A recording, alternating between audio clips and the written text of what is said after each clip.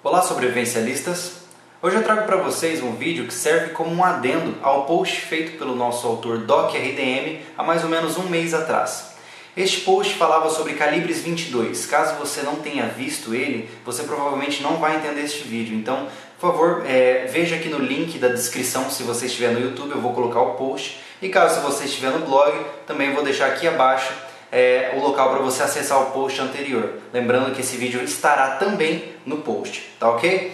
Bom, este vídeo se trata de um teste balístico feito em um bloco de argila de 30 cm por 30 cm, onde ele testa diversos calibres e vê então a quantidade de impacto que cada munição e de seus diversos tipos tem influência no bloco, certo? Devo lembrar que este tiro, esses tiros foram feitos em um local que é adequado, ou seja, um clube de tiro, e o autor dos disparos e do vídeo, que é o Doc RDM, tem completa autorização para praticar o tiro esportivo dele, tá ok? Lembrando então que nós não, não estamos fazendo nada ilícito aqui, tá bom? Que sirva um pouco para repensar acerca das, dos aspectos das utilidades dos calibres e até mesmo para repensar a utilidade do tão é, difamado calibre .22.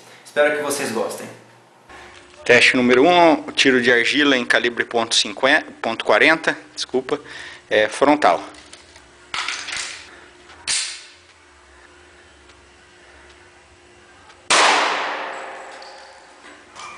Tiro de 44 Magnum.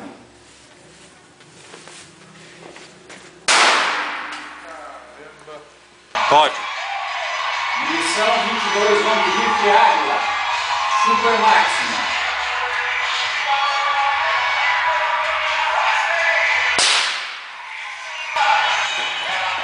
Munição Cereiro Delor. Hiper velocidade. Long Rifle Standard. 22 Long Rifle Stinger.